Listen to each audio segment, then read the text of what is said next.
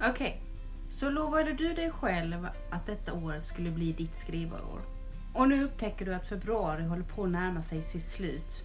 Och du har kanske inte satt mer än några ord på pränt. Kanske inget ord alls. Men det är inte för sent än. Här kommer 10 av mina bästa tips för att hjälpa dig tillbaka till ett skrivande år. En vana är mycket mer pålitlig än inspiration. Den som sitter och väntar på inspiration kommer troligtvis att sitta och vänta länge. Inspiration är flyktigt och du vet aldrig när den kommer eller när den kommer slå till. Därför är det mycket bättre att göra ett schema. De författare som har gjort en karriär av sitt skrivande har troligtvis börjat med att göra skrivandet till en vana. Det behöver inte handla om några stora mål. Det kan vara allt ifrån att skriva 100 ord om dagen eller spendera två timmar i veckan. Det viktigaste är att du är konsekvent och att du håller dig till det schemat som du har satt upp. Det andra tipset är att anta att dina läsare är intelligenta. Förklara inte allting för dem. Låt läsaren känna sig intelligent genom att placera ut hintar och sen inte förklara. Om det finns två karaktärer som håller på att flörta med varandra fram och tillbaka, säg då inte att de håller på att flörta med varandra. Det har läsaren troligtvis redan kommit på. Det tredje är, om du inte vet vad som kommer hända härnäst, så bryt någons ben. Många fastnar ungefär i mitten av boken. Och det enkla svaret är att göra allting värre. Förhoppningsvis har du en konflikt i din berättelse. En intrig som ligger där och gror. Vad är det värsta som kan hända? Och låt det då ske. Det gör att spänningen ökar och konsekvenserna blir större. Det kommer engagera din läsare och få den att vilja läsa vidare. Det fjärde är att du inte ska oroa dig för vilket tema som är poppis just nu. Att skriva en bok kan ta flera år. Därför är det onödigt att se vad som är populärt just då. Om din bok är bra så kommer den att bli läst vad som än är populärt. Kanske är det till och med så att det är en trendsättare. Om du har en idé så skriv på den. Oroa dig inte för om den är originell eller om den kommer att bli läst. Om du gör den till den bästa boken som du kan skriva så kommer det finnas andra som kommer vilja läsa det. Det femte tipset är att bara för att du som författare vet allt så behöver inte din läsare veta allt. Akta dig för så kallade infodumpings, speciellt i början av en bok. Fråga dig om den här karaktärens bakgrundshistoria har ett syfte för din berättelse. Har den inte det så spelar det ingen roll hur bra eller snyftig den är. Om den inte har ett syfte för berättelsen så ska den inte heller vara med. Och det gäller egentligen alla scener som finns i din bok. Har den inget syfte, då ska den strykas. Och det är härifrån som uttrycket kill your darlings kommer. För det kan vara väldigt svårt att stryka ett stycke som man tycker väldigt mycket om. Men den måste ha ett syfte för att kunna få en plats i din bok.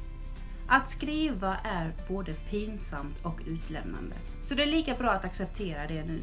Alla kommer inte tycka om det du skriver och så är det. Det finns ingen författare som har lyckats undgå refuseringar eller dåliga recensioner. Och det kommer troligtvis inte du heller göra. Det viktiga är bara att se framåt och fokusera på det positiva. Det sjunde är att alltid lämna dina läsare med frågor. Om ett kapitel avslutas och det inte finns några frågor för läsaren så kan det vara svårt för den att motivera sig att läsa vidare. Det enda kapitlet egentligen som ska ha svaret på alla frågor är det sista. Så om du väljer att svara på en fråga i boken så gäller det att du skapar nya frågor. Nya dilemman som läsaren vill ta reda på. Tips 8 om du vill bli färdig med din bok är att sluta komma med ursäkter. Om du inte planerar, researchar, skriver eller redigerar, ja då skriver du inte. Då kommer du inte längre fram med din bok. Allt annat är bara ursäkter. Att dagdrömma om sina karaktärer är inte att skriva. Om du planerar hur din karaktär ska gå vidare eller komma över ett hinder, ja då skriver du. Men att säga att man ska titta på ett serieavsnitt för att man gör research, ja det är ju inte riktigt att skriva. Du vet när du gör någonting som för ditt skrivande framåt och när du inte gör det. Så var ärlig mot dig själv. Det nionde tipset är att sluta lägga press på dig själv. Istället för att sätta stora och ouppnåeliga mål så gör målen fler och sänk ribban. Istället för att tänka att du ska bli en känd författare så skriv istället tusen ord. Istället för att tänka att din idé måste vara originell så skriv färdigt det första utkastet. Och istället för att tänka att du ska sälja 10 000 exemplar av din bok så börja med att försöka sälja de 50 första. Sen kan du alltid trappa upp de målen och ta dig längre och längre fram. Men det gäller att sätta rimliga mål så att du känner att du kommer framåt och att du uppnår dina mål. Och sist men inte minst, skriv det som du själv vill läsa. Om du skriver det du själv vill läsa så vet du att den boken inte finns. Då har du troligtvis läst den själv. Du vet också att det finns en publik för din bok, för du är ju en av dem. Och det kommer troligtvis inte bara vara du som vill läsa din bok. Vi är inte riktigt så unika som vi vill tro.